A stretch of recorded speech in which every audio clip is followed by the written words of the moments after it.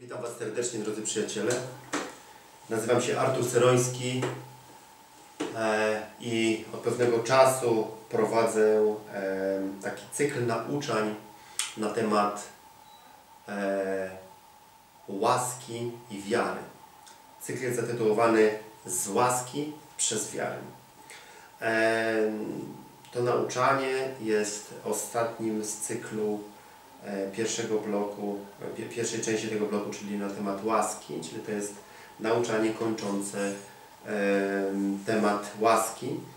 Mm, I, i, I niebawem rozpocznę e, drugą część e, na temat wiary. Będzie to znowu kilkanaście, e, kilkanaście nauczań na temat wiary.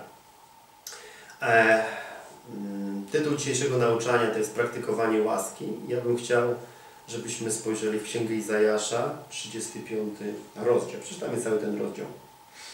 Niech się rozweseli pustynia i spieczona ziemia. Niech się rozraduje i zakwitnie step.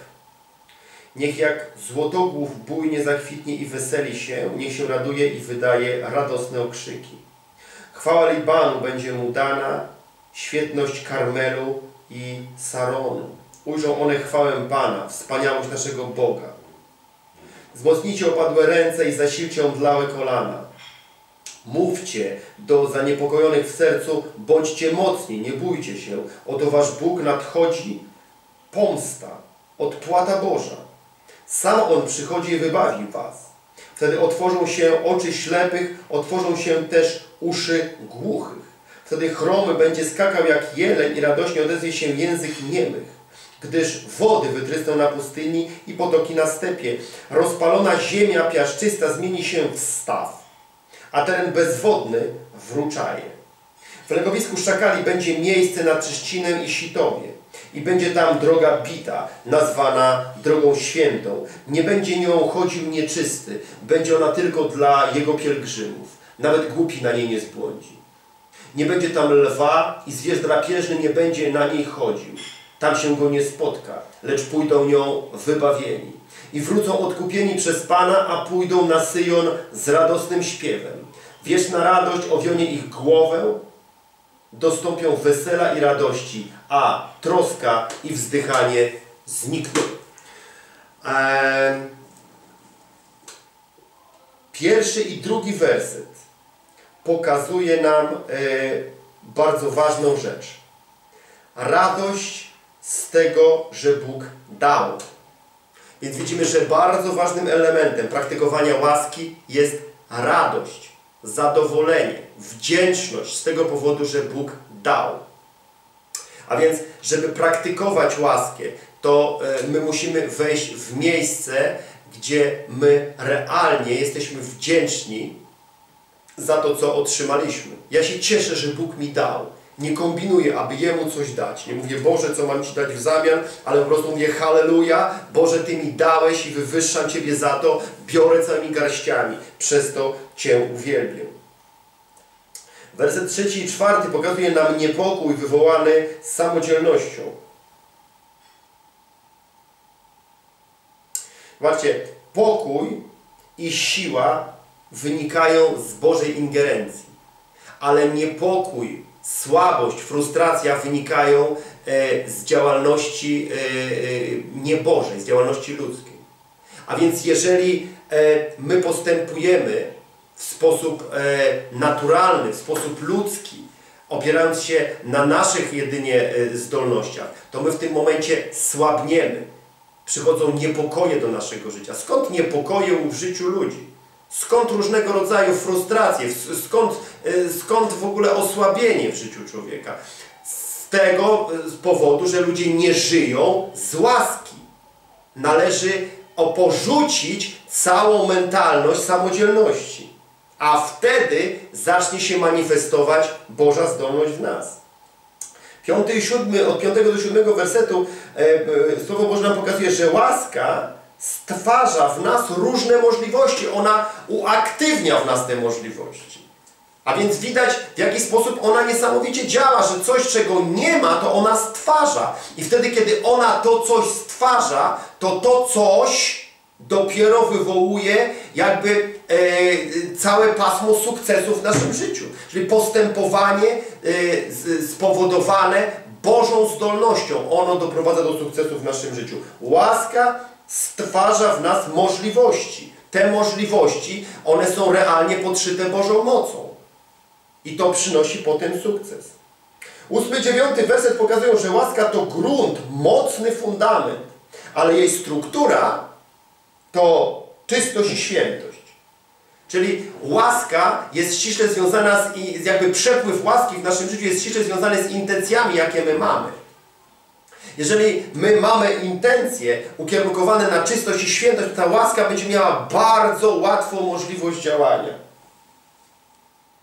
Żeby korzystać z łaski, musimy mieć priorytety, którymi są czystość i świętość. Tu nie chodzi o to, że e, my sobie wmawiamy, że nigdy się nam nie zdarzy potknięcie. To nie o to chodzi.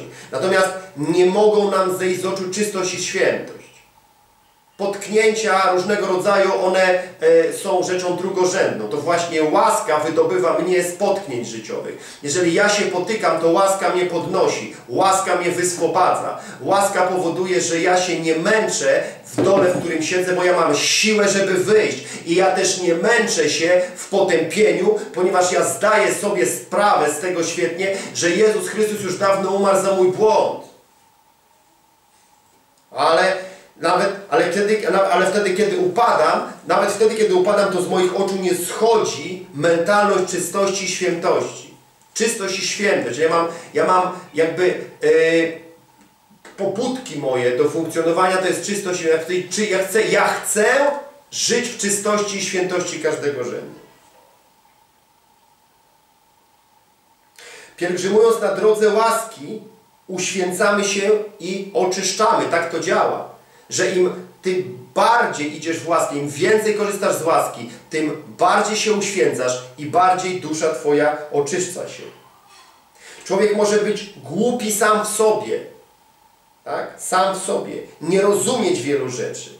Ale tak właśnie działa łaska, że ja nie pojmuję wielokrotnie różnych rzeczy. Ty też nie musisz pojmować różnych rzeczy, ale ja wierzę i Ty też masz wierzyć w to, że łaska działa mimo Twojego rozumienia.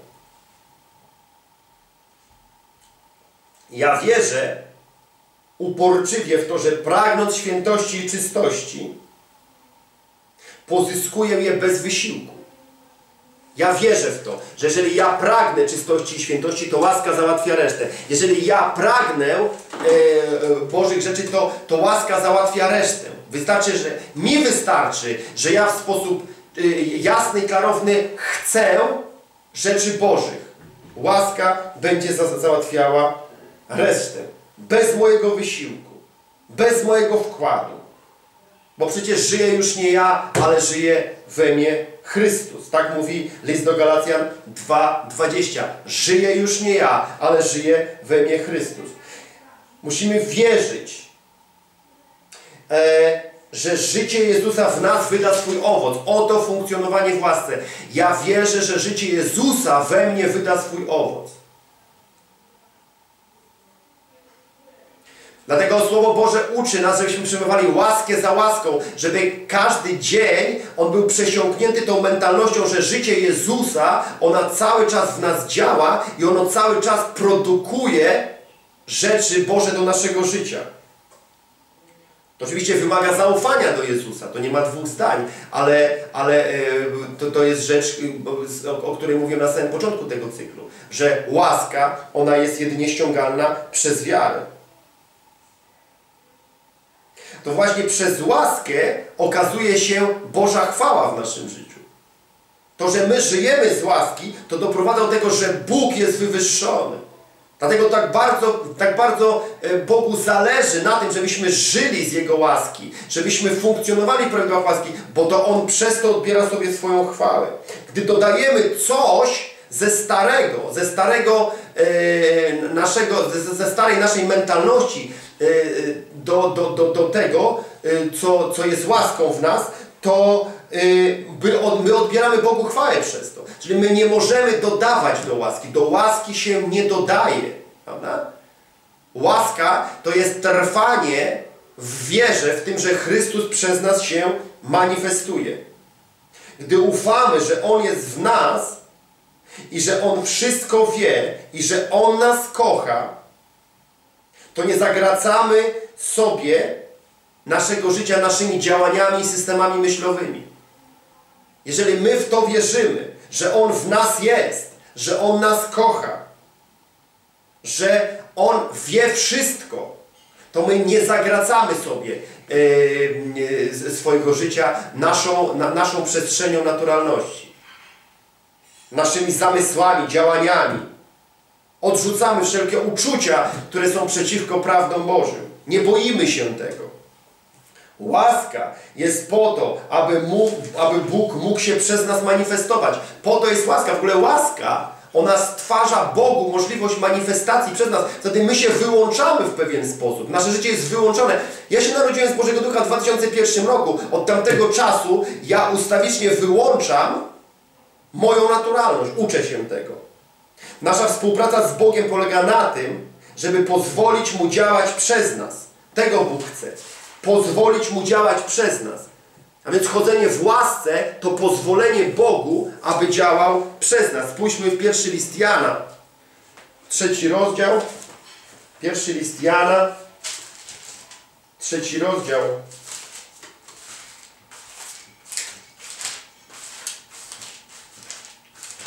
Pierwszy list Jana, trzeci rozdział od 23 do 24. A to jest przykazanie Jego, abyście wierzyli w imię Syna Jego Jezusa Chrystusa i miłowali się wzajemnie, jak Wam przykazał. A kto przestrzega przykazań Jego, mieszka w Bogu, a Bóg w Nim i po tym Duchu, którego nam dał, poznajemy, że w nas mieszka. A więc zobaczcie, co tutaj jest napisane. Oto przykazanie Boże. Wierzyć w imię Jego i w wyniku tego okazywać miłość ludziom. A więc wierzyć w imię Jego i w wyniku tego okazywać miłość ludziom. A więc zaufanie to kanał przepływu łaski do Boga. Ta łaska uzdalnia nas do zaprzestania życia o własnych siłach. Łaska właśnie Cię uzdalnia. Często ludzie y, nie rozumieją pewnej rzeczy, że kiedy rodzą się z Bożego Ducha, kiedy narodzili się z Bożego Ducha, kiedy Duch Święty zamieszkał w nich, to oni jakby osłabli życiowo. Mówią, przecież miało być tak wspaniale, przecież miało być tak wiele siły w moim życiu, tak wiele w ogóle miało się wydarzyć potężnych rzeczy. Gdzie te wszystkie obietnice? Ja mówię, człowieku, na początku to jest osłabienie Twojej naturalności, bo łaska nie wzmacnia Twojej naturalności. Łaska osłabia Twoją naturalność. Łaska osłabia życie o własnych siłach. Właśnie kiedy Ty łaskę wpuszczasz do życia, to ona tak działa, że osłabia Twoje możliwości o własnych siłach, bo Twoje możliwości życia o własnych siłach muszą być zabite, trumna musi być obita gwoździami, zabetonowana, do grobu wrzucona, koniec. Łaska uzdalnia nas. Łaska wprowadza nas w życie, tak? Które nie jest życiem o własnych siłach, a to powoduje, że Bóg manifestuje się przez, e, przez miłość wtedy. Im, zrozumcie, im mniej, im mniej możliwości własnych, tym bardziej można kochać. Rozumiecie? O własnych siłach się nie kocha. Ani Boga, ani ludzi. A więc Bóg nie jest zainteresowany tym, co Ty możesz zrobić dla Niego lub z powodu Jego osoby, ale Bóg jest zainteresowany tym, aby tak na Ciebie wpłynąć, byś zaniechał własnych działań, a wtedy On zamanifestuje się przez Ciebie i On odbierze sobie chwałę. Rozumiesz mnie? Bóg nie jest zainteresowany tym, co możesz dla Niego zrobić. To bzdura, to herezja, że Bóg jest zainteresowany tym, co możemy dla Niego zrobić. Olej to, co możesz zrobić dla Boga. Zrozum, że Bóg jest zainteresowany tym, aby tak na Ciebie wpłynąć, byś zaniechał własnych działań. Wtedy On zamanifestuje się przez Ciebie i odbierze sobie chwałę. Zaprzestanie własnych działań to nie polega na tym, że my sobie teraz siadamy, nic nie będziemy robić, nie będziemy pracować, nie będziemy leżeć do góry kołami. Tak nie było. To, to e, tesaloniczanie źle tak zrozumieli e, w ogóle pojęcie łaski. Położyli się do góry nogami, do góry, do, do, do góry brzuszkami i oni sobie leżeli i czekali, aż Pan Jezus wróci. Święty Paweł musiał list do nich napisać, mówi, kto nie chce pracować, ten też niech nie je. Tu nie chodzi o to, tu chodzi o to, że wewnątrz siebie musimy zrozumieć, że to, co było do tej pory w nas wartościowego, nie ma już żadnego znaczenia. Żadnego znaczenia. Byłaś dobrą matką, narodziłaś się z Bożego Ducha, umarłaś jako dobromatka. Byłeś dobrym ojcem, narodziłeś się z Bożego Ducha, umarłeś jako dobry ojciec. Co teraz się ma dziać w Tobie? To Duch Święty w Tobie teraz stworzy nową przestrzeń macierzyństwa i nową przestrzeń ojcostwa. Rozumiesz, co tutaj chodzi? O to właśnie tutaj chodzi. Jak skończyć ze sobą, przyjaciele? Przedstawię teraz sześć elementów, jak skończyć ze sobą. Punkt pierwszy. Postaw sobie za priorytet życiowy ustawiczne przebywanie z Bogiem. Postaw sobie za priorytet życiowy ustawiczne przebywanie z Bogiem. Rozbuduj komorę, wybuduj system uwielbienia. Rozumiesz? Zafunkcjonuj z tym w życiu jako priorytetem. Najpierw przebywanie z Bogiem. Najpierw, najpierw, zawsze najpierw. Punkt drugi. Wciąż szukaj Boga. Biblia, przede wszystkim Nowy Testament, książki chrześcijańskie, kaznodzieje, którzy będą Cię budować, a nie rujnować. Życie wspólnotowe, które Cię będzie budować, a nie rujnować. A więc wciąż szukaj Boga. Po trzecie, kładź wszystkie sprawy przed Boga. Nawet takie, w których dotychczas świetnie sobie radziłeś. Byłeś czymś świetny, nie wiem, narodziłeś się na nowo z Bożego Ducha, jesteś z wykształcenia jakimś tam, yy, nie wiem, technikiem, ma, jesteś inżynierem, kimś tam, kimś tam, robiłeś rzeczy świetnie, księgową byłaś, nie wiem, jakkolwiek, przychodzisz do Boga, mówisz, Boże, uznaję, że w tej dziedzinie nic nie potrafię, nic nie wiem, nie mam bladego pojęcia, oto kładę przed Tobą wszystkie moje naturalne zdolności, Ty to uświęć, Ty to e, ugruntuj, wylej na to swoją obecność i dopiero ja to w tym stanie biorę i zaczynam tego używać i zobaczymy, co się w ogóle z tego wydarzy. Być może Twoja łaska na to spadnie i szlak to trafi, a może Twoja łaska na to spadnie zostanie to podniesione do rangi rzeczy ważnej. Tak?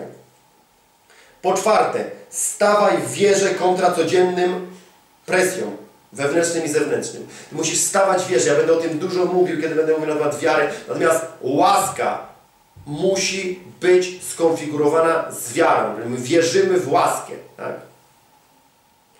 Po piąte, ćwicz święty bezruch. Naucz się tego, aby ćwiczyć święty bezruch. Aby ucz się w ogóle w jakiś sposób nie działać. Rozumiesz? Nie działać. Szczególnie mówię do, do, do tych, którzy z Was byli aktywni do aktywnych, tak? Chociaż nie tylko właściwie, to niedobrze powiedziane, że tylko, że każdy jest aktywny tylko w inny sposób, tak? Każdy jest aktywny tylko w inny sposób, bo tutaj znowu wiecie, są ludzie, którzy naturalnie nic nie robili i byli nieaktywni, ale wiecie z czym oni byli aktywni? W swojej nieaktywności. Bo to trzeba, ja Ci coś powiem, powiem Ci coś na temat pracy, to trzeba być mistrzem świata, żeby na przykład przez rok nie pracować w ogóle. Jaki, jaki, to trzeba się, to trzeba być aktywnym leniem śmierdzącym, prawda? Żeby nie pracować przez rok. A więc jeżeli ktoś nawraca się do Boga i nie pracował przez rok i teraz usłyszy moje nauczenie o święty bezruch, będę trenował, dalej nie będę pracował. Nie, przyjacielu. Wiesz w czym byłeś bardzo dobry? W lenieniu się. Leniłeś się. Nie chciało Ci się zwlec tyłka rano z łóżka i iść do pracy, rozumiesz? Nie chciało Ci się szukać pracy, to w tym momencie co teraz zrobisz? Przyniesiesz całe swoje, całe swoje lenistwo przed Boga, uznasz to za grzech i powiesz, Boże, byłem świetny w niepracowaniu, ja składam swoje niepracowanie przed Tobą i biorę teraz od Ciebie łaskę do pracowania i to będzie Twój święty bezruch w lenistwie. Rozumiesz, o co tutaj chodzi? To tak ma działać. I ostatnia rzecz, odważnie rób to, co usłyszysz od Boga, bez względu na to, co myśli o tym Twój umysł i co mówią o tym inni. To jest, przyjaciele, to jest, to jest, przyjaciele, praktykowanie łaski. Łaska jest nam dana, abyśmy ją praktykowali. Musimy praktykować łaskę. Nie możemy zostawać sobie od po prostu w tym, żeby coś tam dostaliśmy i w tym momencie nic więcej nie będziemy, yy, nie będziemy z tym robić. To trzeba wziąć. Wziąć albo wziąć, już nie wiem jak się mówi. Natomiast chcę, żebyście zrozumieli, że tak to wygląda. Kochani, e, z tego co wiem, zrobiliśmy sobie zrobiliśmy sobie 11, to było 11 nauczeń na temat łaski. E, następnie będzie około 14 nauczeń na temat wiary, czyli przed nami 14 nauczeń na temat wiary, 11 nauczeń na temat łaski za nami. Chciałbym, żebyście studiowali ustawicznie te nauczania na temat łaski, aż to się w Was nie wgryzie. Musi Was się wgryźć jak kwas. Niech to się wgryzie, niech to przepracowuje e, wszystko w Was. Ja Wam życzę z całego serca, żebyście e, te rzeczy przyjmowali jako Boże Słowo, nie tylko jako moje Słowo. Pomodlę się teraz. Ojcze, dziękuję Ci za ludzi, którzy słuchali tego słowa. Ojcze, modlę się w imieniu Jezusa teraz, aby to słowo wydało stukrotny plon u ludzi. Ojcze, ja dziękuję Tobie, dziękuję za to, że w potężnym imieniu Jezusa ci ludzie mają dostęp do łaski, Ojcze, która jest osiągalna przez wiarę. Ojcze, ja dziękuję Ci, że niczego ci ludzie z tego nie muszą stracić. Niech Twoje aniołowie ich chronią. Ja nakładam krew Jezusa na, na umysły tych ludzi, którzy to, tego słuchali, Ojcze. W imieniu Jezusa.